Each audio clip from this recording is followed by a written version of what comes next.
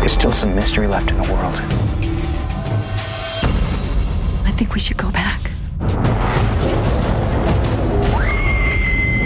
They've taken Ann! You saw something.